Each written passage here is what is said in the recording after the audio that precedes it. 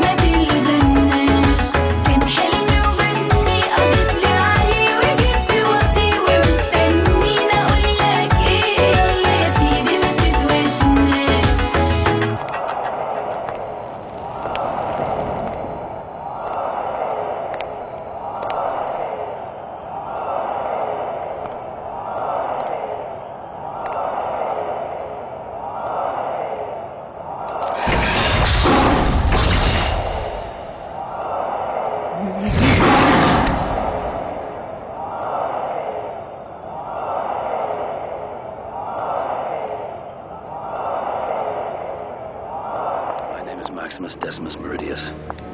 commander of the armies of the North, general of the Felix Legions,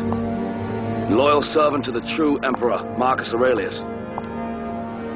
father to a murdered son. As for this young man, he